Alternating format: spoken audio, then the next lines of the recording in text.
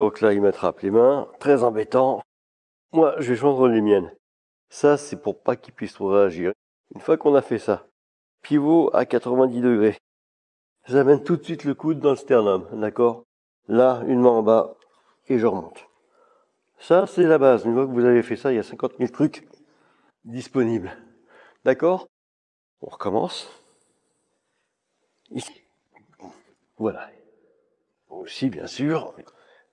Etc. Etc. D'accord. Mais toujours pareil, loupez pas le début, sinon ça va être beaucoup plus compliqué.